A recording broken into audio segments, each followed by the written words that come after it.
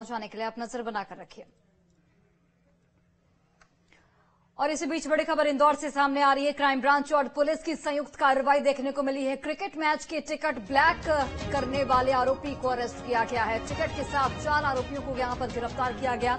आरोपियों के पास से 80 से अधिक टिकट की बरामदगी की गई है कल इंडिया और अफ़गानिस्तान के बीच टी का मैच है, जिसे लेकर ये बड़ी कार्रवाई की गई। तो बड़ी जानकारी आप तक पहुँचा रहे इंदौर से। और चलिए अधिक जानकारी के साथ आशीष जुड़ गए हैं फ़ोन लाइन पर। आशीष, क्राइम ब्रांच और पुलिस की ये संयुक्त कार्रवाई देखने को मिली है और टिकट ब्लैक करने वाले आरोपी को फ़िलहाल अरेस्ट कर लिया गया है। पूछताछ में क्या जानकारी मिल पाई है? जी देखिए, इंदौर के राजेंद्र नगर थाना क्षेत्र की यह घटना है। क्राइम ब्रांच की भी एक बड़ी कार्रवाई है। क्राइम ब्रांच को मुखबिर के माध्यम से सूचना मिली थी कि राजेंद्र नगर थाना क्षेत्र में आने वाले चोइथरा मंडी के पास कुछ लोग टिकट ब्लैक करने वाले हैं, जो कि कल इंदौर में मैच होने वाला है, भारत और पाकिस्तान का।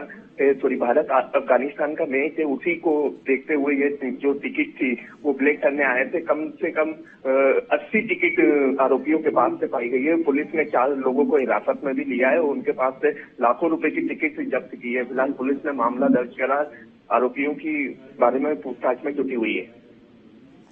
बिल्कुल, चलिए आशीष, फ़िलहाल बहुत बहुत धन्यवाद। तमाम जानकारी हम तक पहुँचाने के लिए तो देखिए, क्रिकेट मैच के टिकट ब्लैक करने वाले आरोपी अरेस्ट किए गए हैं। फ़िलहाल चार आरोपियों को टिकट के साथ गिरफ़्तार किया गया है। जिनसे पूछताछ लगातार जारी, आरोपियों के पास से 80 से अधिक टिकट की बरामदगी हुई है। बता दें आपको कि भारत और अफ़गानिस्तान के बीच टी का मैच खेला जाना है कल।